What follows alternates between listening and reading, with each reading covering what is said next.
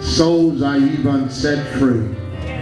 Now, Lord, we pray that you open thou mine eyes, that I may behold wondrous things out of thy law. I'm yours, Lord. I'm yours, Lord. Everything I am, everything I'm not. Take me now, use me as an empty vessel before a full fountain. Fill my cup tonight. Let it overflow. We thank you for what you've done. Lord, we're going to keep praising you right now for what you're getting ready to do. In the name of Jesus, we pray. Amen. Somebody ought to say something. My, my, my brothers and sisters, as we continue this week of being revived, renewed, refreshed, regenerated uh, in these days of sharing in revival, I, I, I have discovered that in all of our lives, many of us tonight can testify that no matter how saved we think we are, we have experienced some time, some trouble, some trials, some temptation in our life that we really could not find words to describe. There have been days in our lives when our situation seemed to get us down, discouraged, and even feeling defeated. And we said to ourselves, I don't know what to do or even what to say. Can I, can I encourage you tonight to know that it is in those times that we find ourselves questioning, really wondering, am I really a Christian? We, we start having uh, questions with ourselves, asking ourselves, uh, is it really worth me going to church, giving my time, my, my talents, giving my thoughts to God because it seems the more I embrace God, the more I trust him, the more I take him at his word, I find myself taking personal inventory of my life. It's because, brothers and sisters, often we keep finding ourselves at a point of silence, not, not really finding words to explain what I'm going through. And I've discovered it's in those times that we must come to the realization, we must realize that I've been through too much Yes, sir. to be silent.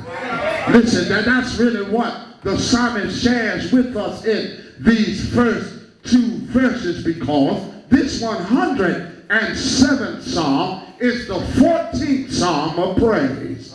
Here we find Israel is commanded to praise God, to speak, to thank God for his past deliverance from captivity. The psalmist is reflecting, he's remembering, he's rejoicing because God had brought them out of Egypt and now into Canaan. And the psalmist request for them, he says, listen, you, you ought to have something to say. You, you ought to be able to give God thanks for what he's done in your life. So the psalmist simply encourages us tonight that if we've been redeemed, you ought to have something, something to say.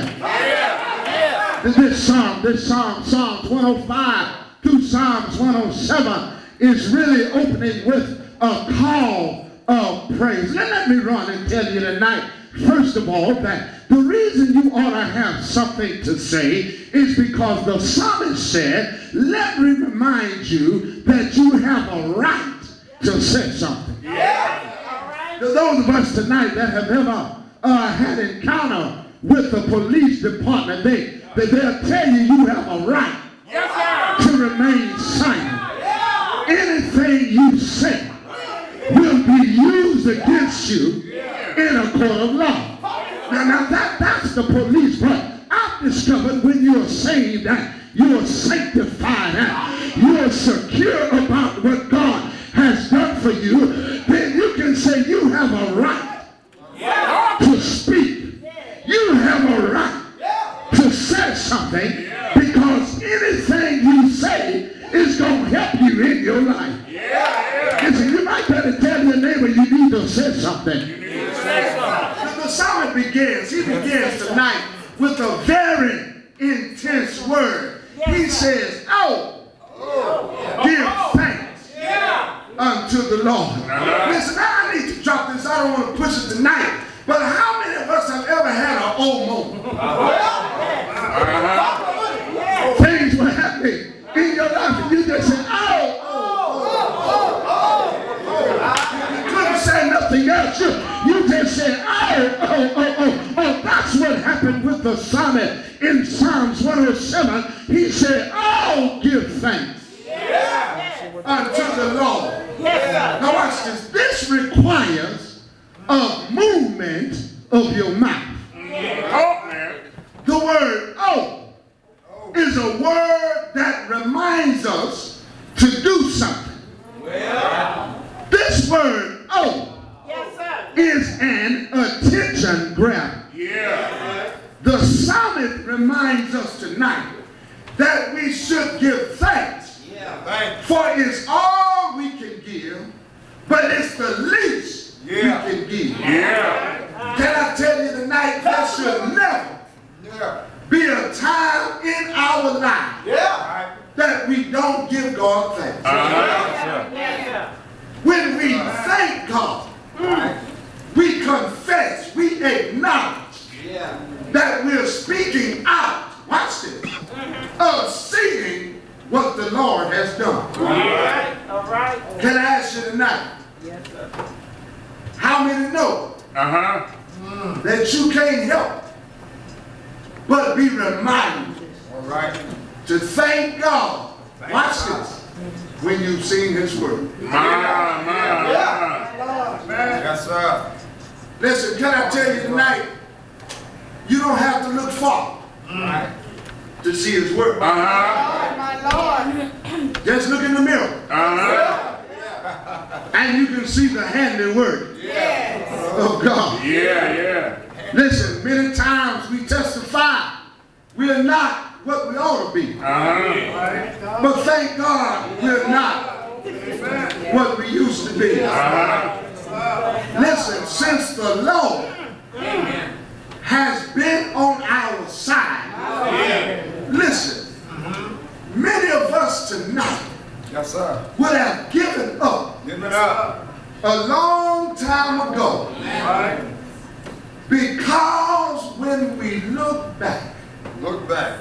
and where the Lord mm. has brought us from, that gives us a reminder Yeah. to say thank you. Yes.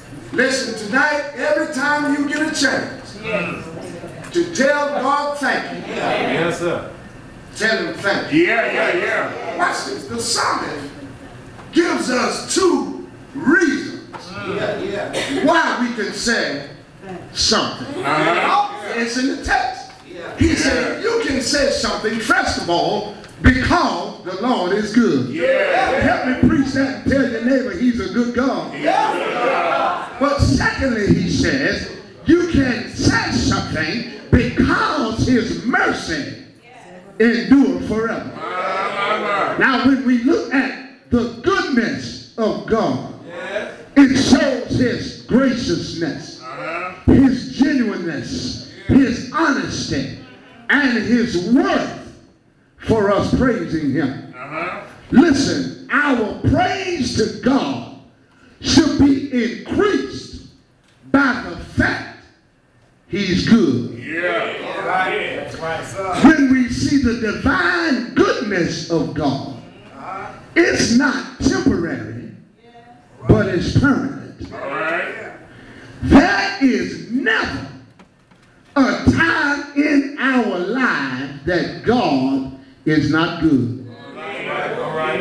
Matter of fact, uh, I really don't want to tell you this, but uh, I do need to say this, Pastor Parker, but I don't know if I should say it or not. Go ahead. Go ahead. Uh, Go ahead and say it. Uh, Yes, sir.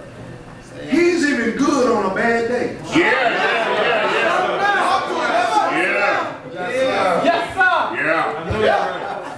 God's divine goodness Yeah. Along with it some mercy. Yeah. Matter of fact, Psalms 23 and 6 says, Surely Yeah. goodness and mercy shall follow me all the days of my life. And I will dwell in the house of the Lord forever. Listen, we ought to Thank God. For his goodness.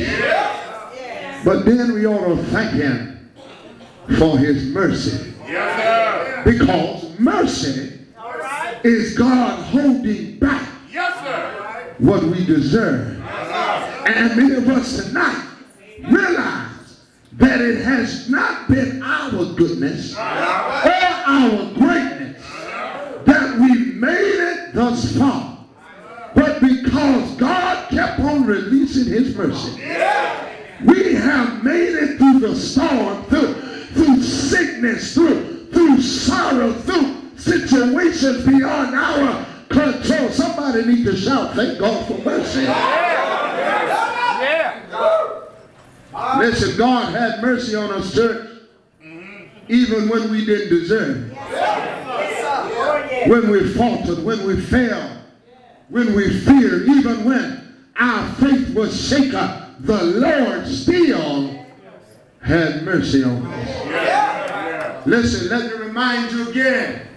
Ah, we have a call to say something. Can, can I tell you? You can't be silent when you look at the Lord's goodness and his mercy. But not only, not only does he give us a reminder uh, that we can say something, but secondly, let me submit to you tonight. He says, you got something to say because he makes a request for you to say something. Yeah.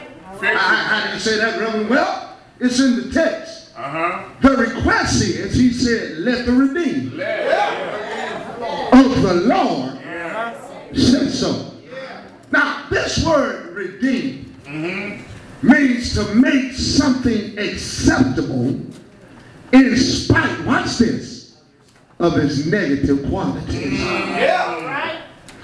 I discovered tonight that the redeemed are those of us who know how to keep it moving when everything else around us has stopped. Yeah. Yeah.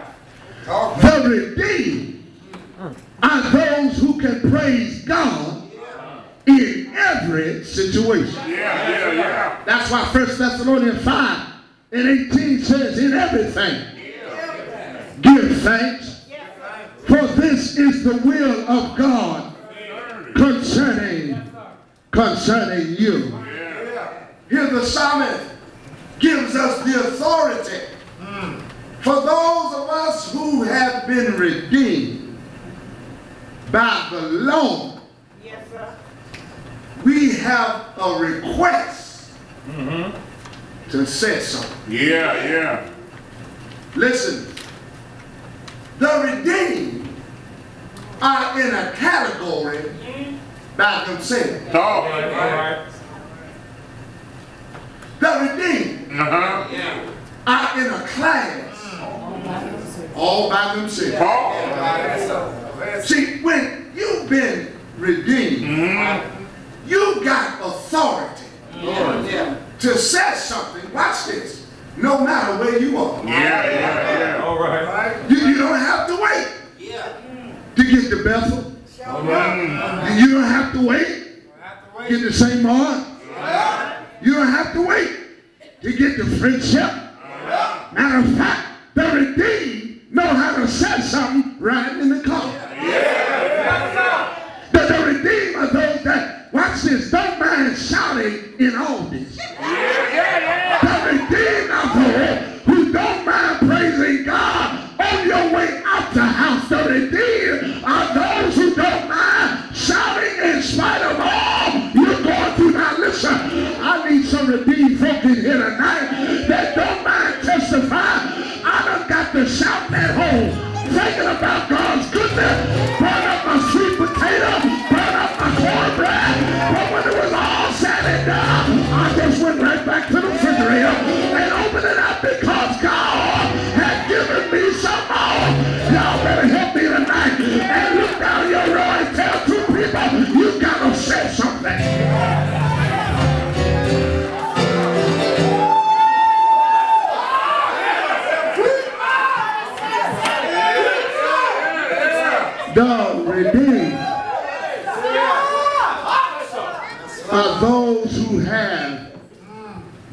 authority to say something.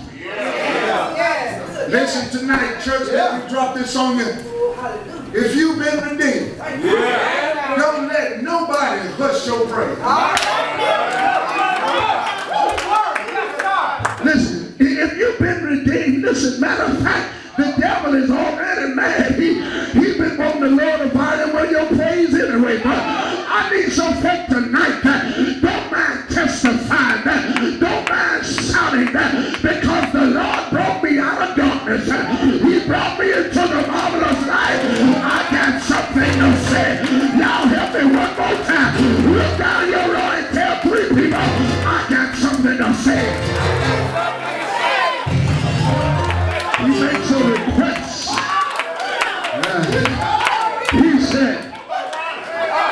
Let the redeemed.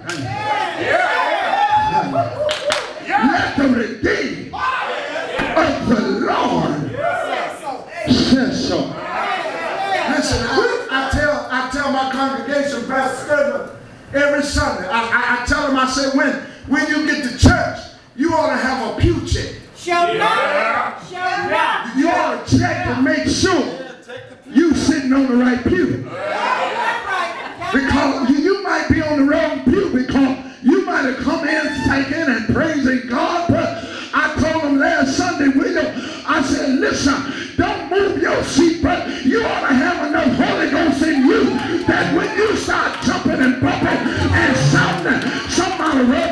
Get on the rope on your healing.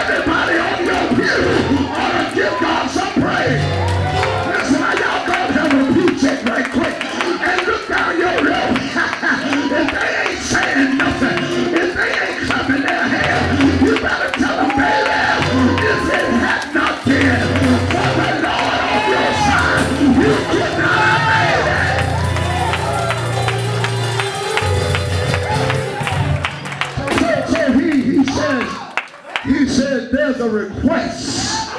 Yeah, he said,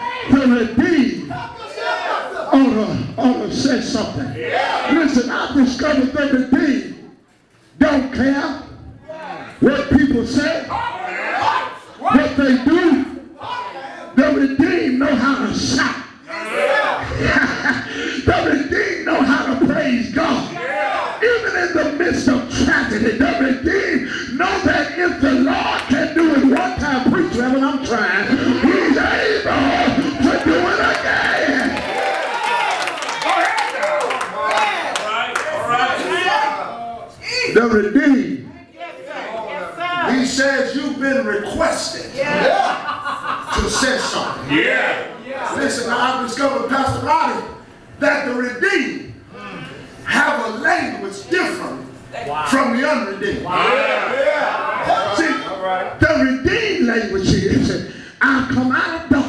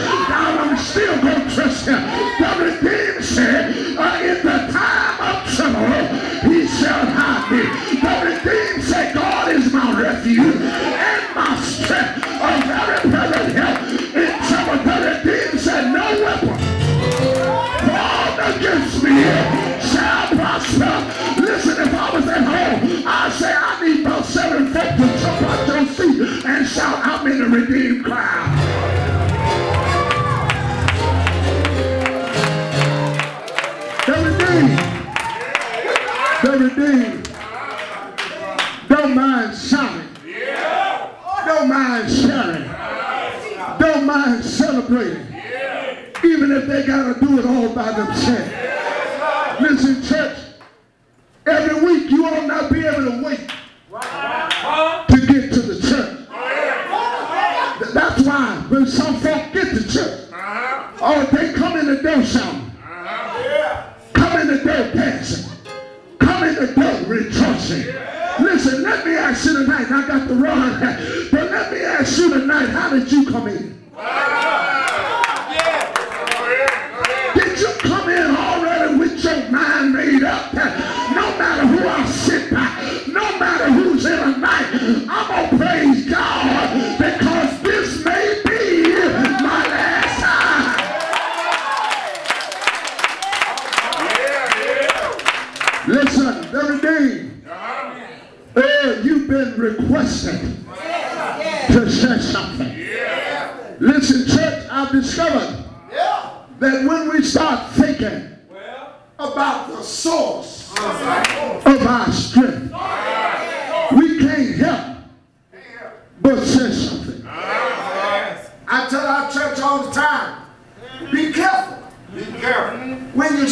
Talking about folk that's always praising God All right now. because you don't know the story behind their praise. Listen tonight.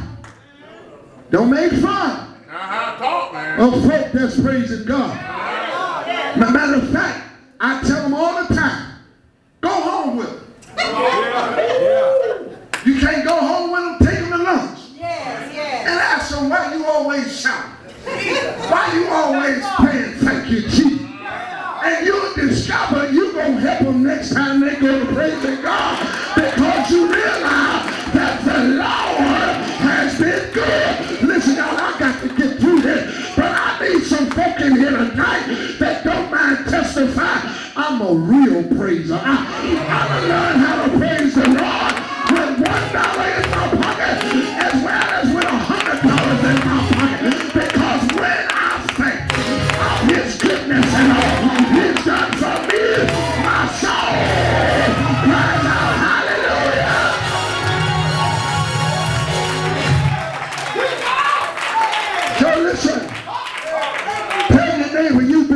requested to say something. Because they're redeemed are those who wake up with their mind staying on Jesus. The redeemed don't have to be pump primed to push. The redeemed just praise. Listen, redeemed folk don't mind losing their mind for the Lord. Listen, let me ask you tonight.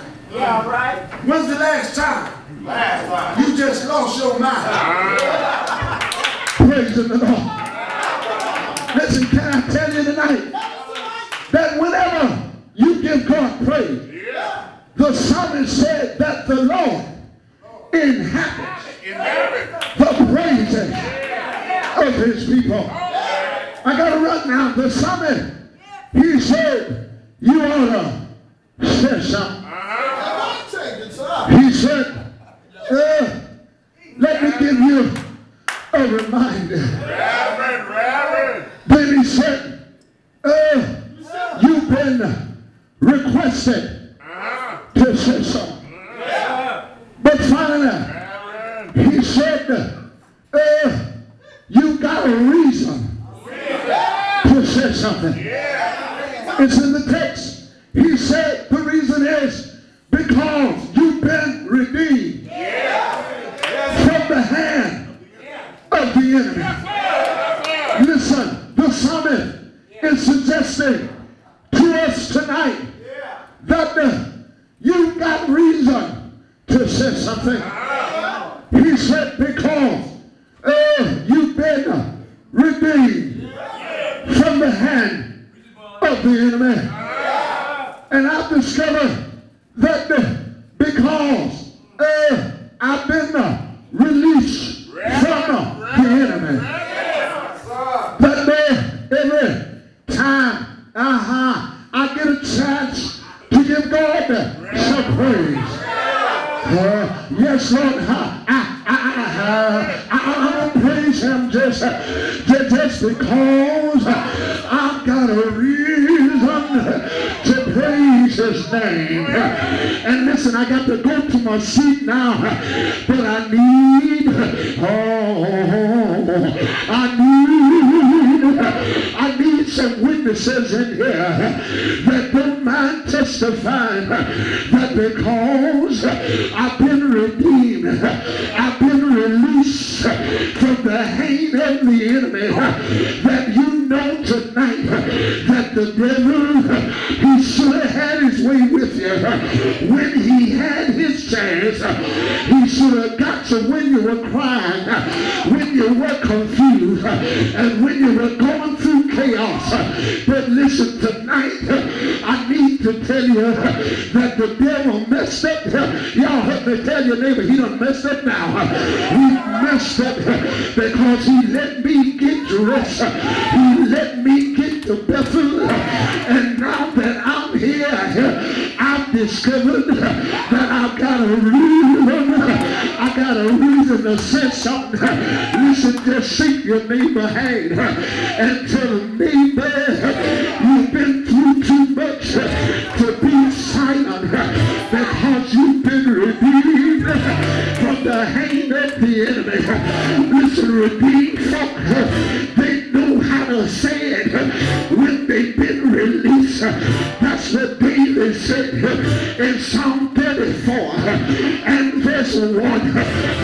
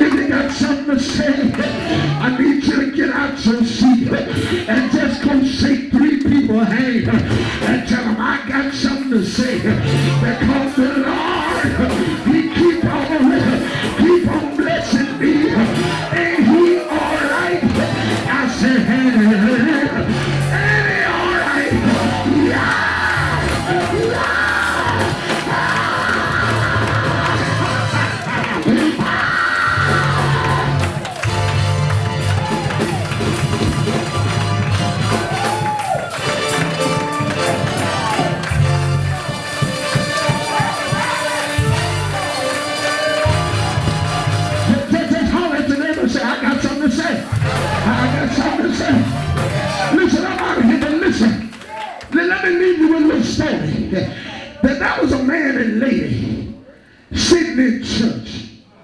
They were sitting in the back, Pastor Paul and I. Every time the preacher would say Jesus, the man would whisper to the lady. Finally, she would jump up, lift her hands up, and shout, thank you, you've been good. The preacher kept watching this lady and man. After service was over, the preacher went out and he, he asked the lady, he said, why when I was preaching uh, where you were whispering, uh, the lady looked at him and said, Sir, this man that's sitting next to me, he can't talk. Sir. And every time you said Jesus, it was something on the inside of him. And he would look at me and, and just nod his head and tell me to make some noise. Listen, I got to